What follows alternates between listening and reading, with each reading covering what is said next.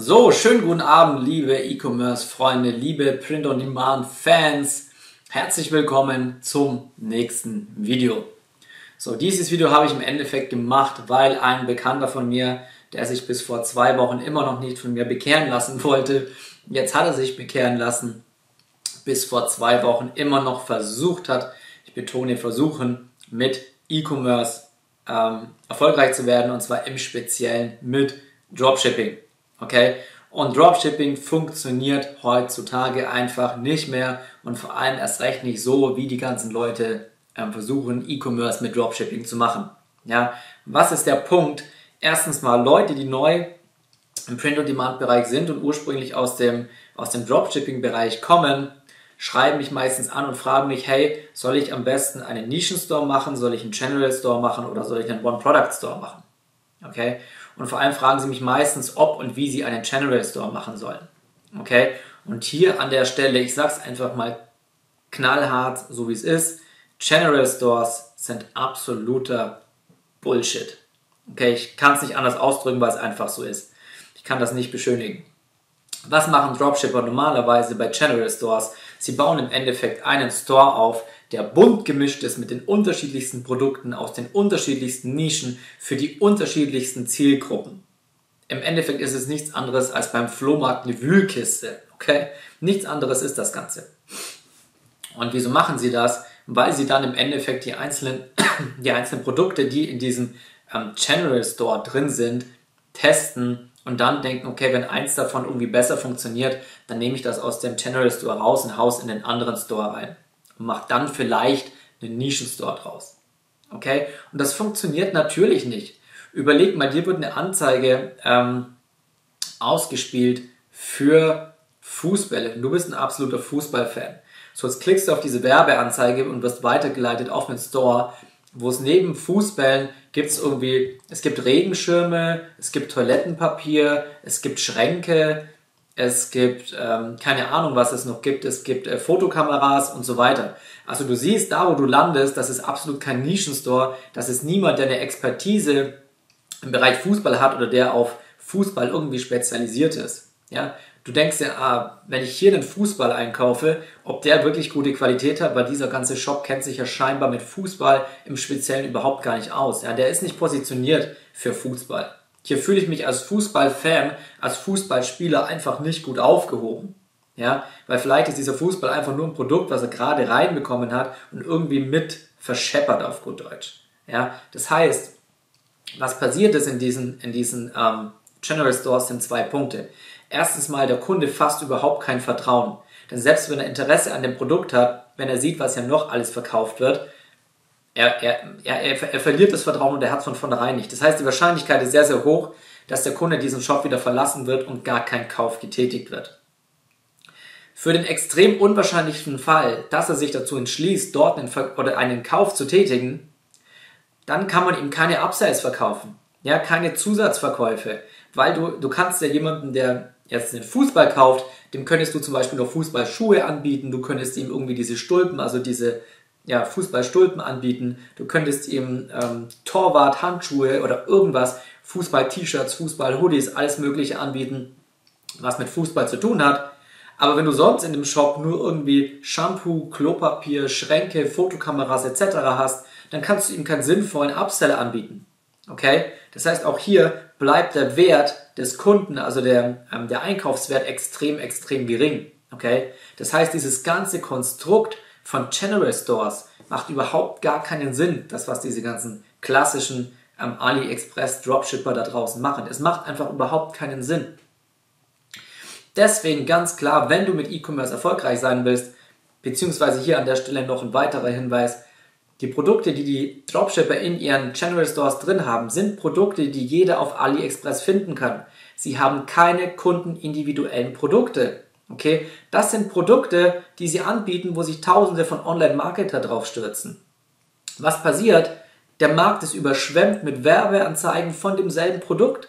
Und dann wundern sie sich, dass sie entweder gar keinen Umsatz machen oder wenn jemand Umsatz macht, dann sind es nur die ganz großen, die Big Player, die mit so viel Kapital in den Markt reingehen, dass ihre Werbeanzeigen ganz, ganz oben erscheinen. Das heißt, die ganzen kleineren Leute haben überhaupt gar keine Chance dagegen anzukommen.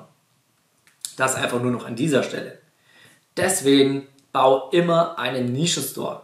Wenn du einen Nischenstore hast und der Kunde kommt über deine Werbeanzeige in deinen Shop, fühlt er sich erstmal extrem zu Hause. Warum? Weil dein komplettes Shop-Design an die Nische angepasst ist. Wenn du einen General Store hast, wo alle möglichen Produkte drin sind, aus unterschiedlichen Nischen, ja, dann kannst du dein Design logischerweise nicht an eine Nische anpassen.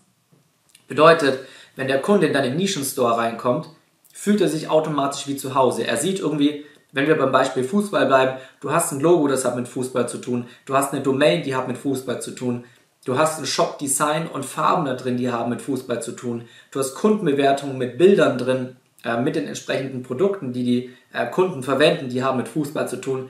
Der Kunde weiß, das ist mein Shop, das ist meine Nische, das ist meine Leidenschaft, hier fühle ich mich wie zu Hause. Und das ist extrem, extrem wichtig. Das hast du bei Channel Stores eben nicht. Nächster Punkt ist, du hast hier, wenn du einen Nischenshop machst, wir sind im Print-on-Demand-Bereich unterwegs, das heißt, wir kreieren kundenindividuelle Produkte. Okay, das heißt, wir kreieren für die Fußballfans wirklich auch nur Produkte, wo wir vorher durch Designrecherche rausfinden, okay, das sind Produkte, die in der Nische gut ankommen. Und wenn wir dann nochmal zusätzlich testen, was kommt besonders gut an, was kommt schlechter an, kreieren wir Designs, die immer mehr in diese Richtung gehen, die eben gut verkauft. Okay? Das heißt, wir stellen im Endeffekt Produkte für die Zielgruppe in der Nische her, die bei denen gut ankommen. Ja, wir kriegen Feedback von ihnen über unsere Werbeanzeigen und produzieren dann praktisch mehr von dem, was sich gut verkauft und nicht irgendwelche allgemeinen ähm, Artikel. Nächster Punkt ist, wie gesagt, erstens der Shop bei uns, wenn wir in unserer Nische drin sind, ist immer für unsere Kunden, für unsere Zielgruppe optimiert. Nächster Punkt ist, hier kannst du E-Mail-Marketing machen und zwar sinnvolles E-Mail-Marketing. Wenn du einen General Store hast, dann hast du, wenn überhaupt jemand einkauft, hast du eine Liste von Kunden. Der eine interessiert sich für einen Fußball, der andere für eine Kamera, der andere für einen Schrank, für was auch immer. Wenn du jetzt allerdings eben hier einen reinen Fußballstore hast, hast du auch eine Nische mit reinen Fußballfans. Okay? Das bedeutet wiederum, alle Produkte, die du dann rausbringen wirst, kannst du an deine komplette Kundenliste vermarkten weil du eine Kundenliste nur mit Fußballfans hast und nicht von allgemeinen Leuten, wo du gar nicht weißt, was ist für wen geeignet.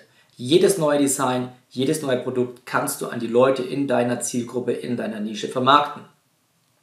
Das nächste ist, du hast ein Logo, das an die Nische angepasst ist. Du hast eine Domain, die an die Nische angepasst ist. Der nächste Punkt ist, du kannst deinen Nischenstore extrem gut branden. Denn eine Brand, eine Marke beinhaltet immer gleichzeitig auch eine Markenbotschaft. Okay? Und natürlich, wenn du in deiner Nische drin bist, ja, dann hat deine Markenbotschaft immer mit der Nische zu tun. Hier geht es zum Beispiel um die Leidenschaft für Fußball. Was ist denn die Markenbotschaft von dem General Store? Dadurch, dass er in keiner Nische drin ist, hat er auch keine Markenbotschaft. Das heißt, du kannst ihn extrem, extrem schlecht branden. Ja, und nur wenn du äh, gebrandet bist, dann entsteht irgendwann auch die Mund-zu-Mund-Propaganda, okay? Denn wenn du in der Nische unterwegs bist, Leute, die ähm, Teil deiner Zielgruppe sind, okay, die treffen sich auch untereinander. Fußballfans treffen sich untereinander.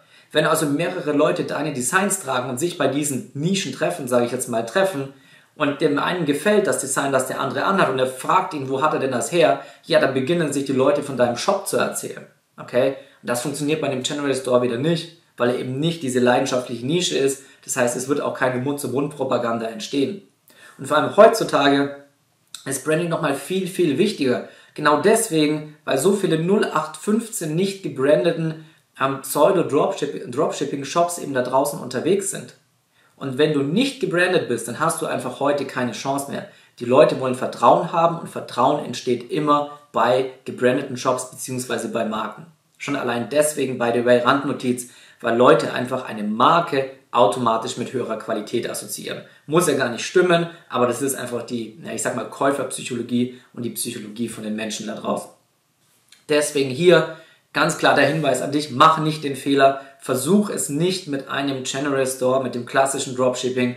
Wenn du wirklich deutlich mehr Geld verdienen willst, dann bau dir einen gebrandeten Shop auf in einer Nische mit kundenindividuellen Print-on-Demand-Produkten. Okay? Wenn du nicht weißt, wie das Ganze geht, schreib mir gerne eine Nachricht bei Instagram Bastian Hook. Schreib mir auch gerne in die Kommentare rein, wenn du zu ganz bestimmten Themen Videos haben möchtest. Ähm, ich werde hier fast jede Woche haue ich neue Videos raus zu diesem ganzen Thema. Ich freue mich, falls dir das Video gefallen hat, hinterlass mir dann gerne einen Like, abonniere meinen Channel und ich freue mich auf dich und ab bis zum nächsten Mal.